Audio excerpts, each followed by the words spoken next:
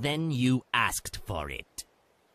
There is a bomb strapped to my chest, human. Surrender now and I'll disarm it. But if you do not surrender, I'll be forced to detonate the device, killing us both.